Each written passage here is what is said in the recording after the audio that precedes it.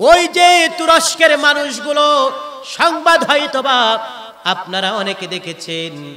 কত মানুষ তাদের জীবনের মধ্যে কত আশা ছিল, জীবনের মধ্যে তাদের কত আশা ছিল, কত যুবকের আশা ছিল, আস্তে আস্তে করে বড় হব।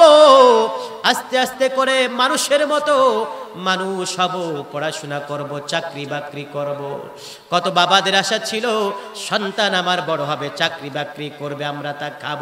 কত মায়ের আশা ছিল, সন্তান আমার বড় হবে, জীবনটা সুন্দরভাবে চালাবে, মানুষের মতো মানুষ হবে।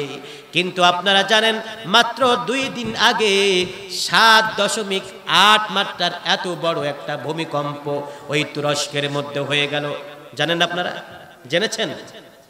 এত বড় ভূমিকম্প, এত বড় ভূমিকম্প সংবাদ মাধ্যমে দেখেছি, তারা বলেছে, গত দুই শত বছরের মধ্যে এমন ভূমিকা, এমন ভূমিকম্প আমাদের এই এলাকার মধ্যে হয় নাই। কত বছর? দুই শত বছরের মধ্যে এত বড় ভূমিকম্প, ওই তুরস্ক হয় নাই। এত বড় ভূমিকম্প, এত বড় ভূমিকম্প। সংবাদ মাধ্যমে দেখলাম, হাজার হাজার মানুষ, হাজার হাজার মানুষের লাশ। একটা ঘটনা দেখে বড় খারাপ লাগল। একটা পুরুষ, তার একটা সন্তান। সন্তানের লাশ মরে গেছে। হয়তো আট থেকে দশটা বছর বয়স হবে। আট থেকে দশ বছর বয়স। সন্তানের মরা লাশ বুকের মধ্যে জোরে ধরে কাঁদতেছে। চিৎকার করে কাঁদতেছে, চিৎকার করে কাঁদতেছে। সন্তান সন্তান বলে চিৎকার করে কাঁদতেছে। ও মুসলমান, শুধু ওই রকম একটা বাবা নয়, শুধু একজন মা নয়, সংবাদ মাধ্যমে লিখেছে, এমনও কত সংসার, এমনও কত পরিবার তো গেল। যেই পরিবার থেকে একটা পরিবারে দশজন মানুষ, দশজন মানুষই মারা গেছে। একটা পরিবারে আটজন মানুষ, আটজন ধরেই মারা গেছে। কোন কোন পরিবারে পাঁচজন সদস্য, পাঁচজন ধরেই ইন্তেকাল করেছে ভূমিকম্পের কারণে। এই সমস্ত মানুষের দিলের মধ্যে ভিন্ন রকম আশা ছিল কি ছিল না বলেন? অনেক স্বপ্ন তাদের জীবনে ছিল কি ছিল না? অনেক স্বপ্ন, অনেক আশা তাদের জীবনের মধ্যে ছিল। হাজার হাজার হাজার হাজার মানুষ কীট পতঙ্গ, পশু পাখির মতো তারা পড়ে আছে। শুধু লাশ আর লাশ, শুধু লাশ আর লাশ। সর্বশেষ সংবাদ পাওয়া পর্যন্ত জেনেছি চার হাজার তিনশত মানুষের খবর তারা পেয়েছে। এতগুলো মানুষ ওই ভূমিকম্পের আঘাতে মরে গেছে।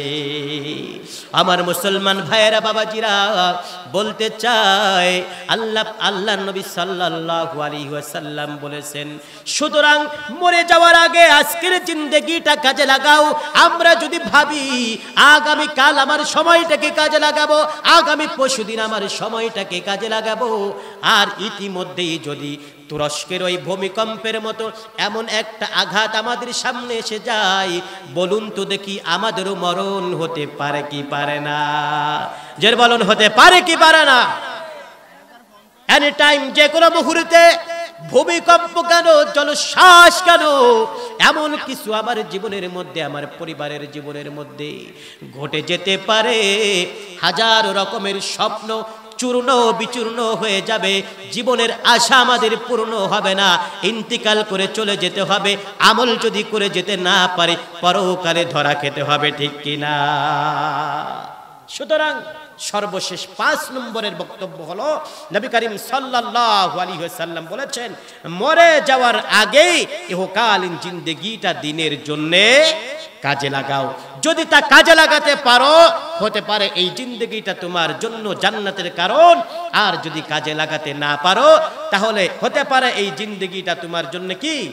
জাহান্নামের কারণ। প্রিয় হাজরিন, তো এ কারণে সর্বোপরি বলতে চাই, আমরা শুনেছি পাঁচটি উপদেশের কথা। কয়টা? পাঁচটা উপদেশ। এক নম্বরে যুবকদেরকে বলেছি, যৌবন জীবন কাজে লাগাতে হবে। দুই নম্বরে সুস্থ জীবনকে কাজে লাগাতে হবে। তিন নম্বরে সময়কে কাজে লাগাতে হবে। চার নম্বরে আমাদের সম্পদকে কাজে লাগাতে হবে। পাঁচ নম্বরে অ্যাভারেজ অল এভরিথিং আল্লাহ পাক রব্বুল আলমিন যে সময়টুকু আমাদেরকে দিয়েছেন হোকালীন জিন্দগিতে, এই জিন্দগিটা দিনের জন্য আমাদেরকে কাজে লাগাতে হবে। আল্লাহ রব্বুল আলমিন আমাদের সকলকে তাওফিক দান করুন বলি আমিন। আমিন আল্লাহ আমিন।